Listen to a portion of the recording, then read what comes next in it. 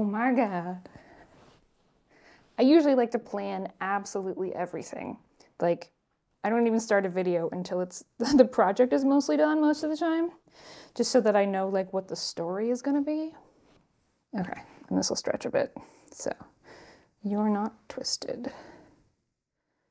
So we'll bring a loop through there, and then a loop through there, and then a loop through there